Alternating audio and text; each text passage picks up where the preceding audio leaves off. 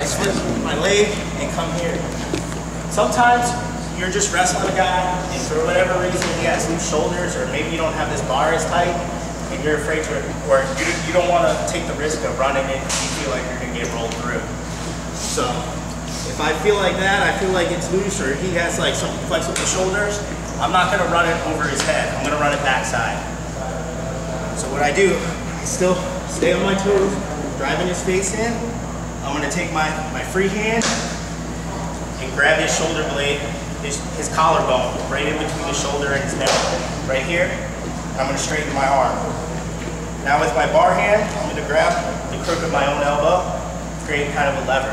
This whole time I'm going to be driving pressure on this shoulder, and slowly from here I'm just going to walk my knees over. Walk my knees, walk my knees.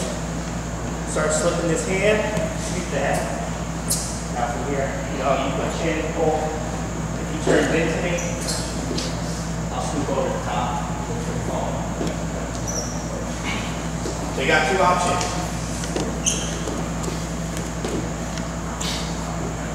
Once you get this bar nice and deep, and I slip my leg, when I'm straddled, I can either go sit all the way through and run it, one, two, or I can go backside.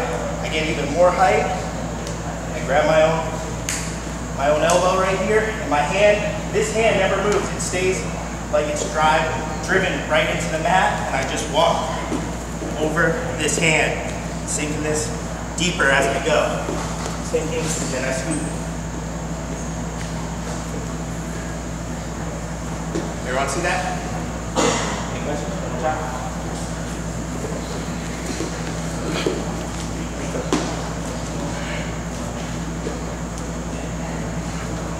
Bar here, come around this side. Slip this leg first, driving forward. Now I'm in the middle, I'm gonna post, get height, grab my own elbow, slowly walk my knees. This hand doesn't move, it stays right there, and I run them over.